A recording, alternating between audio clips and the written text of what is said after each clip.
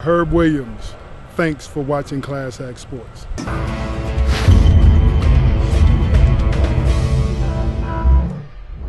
Class Act Sports is here with uh, New York Knick, Herb Williams.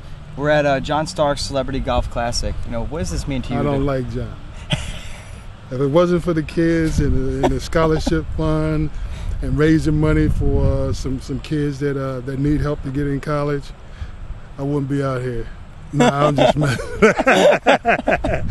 just messing around. John's a very good friend, and I think what he's doing here is uh, is uh, you know you got to commend him, commend him for it to uh, to lend his name and uh, for him to come out here to put his work behind it, something that uh, he's been doing for 16 years.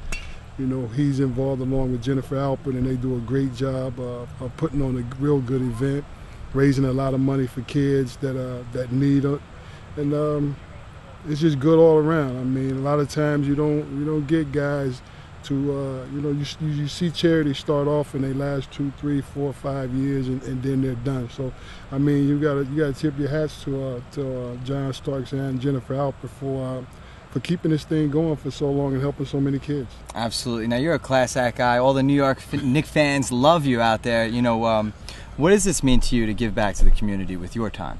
I mean, anytime you can get to come out and play golf and raise money, why wouldn't you do it? I mean, it's, it's fun. You you you you're around a lot of nice people. You get to enjoy the day. It's a nice day. You get to come out here and get frustrated when you don't hit the ball straight. When you hit it good, you're happy.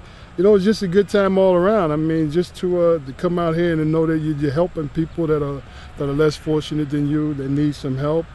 Some kids, you you never know how they're going to turn out. You know, they need help, and, and sometimes. Uh, kids don't get help and they turn in the wrong direction. But you know, like I said, you got to commend John and Jennifer for putting this thing together and giving kids money and giving them opportunity that they wouldn't have. Well, thanks a lot for stopping by with uh, with Class Act Sports. Best of luck to you guys next season. Thank you.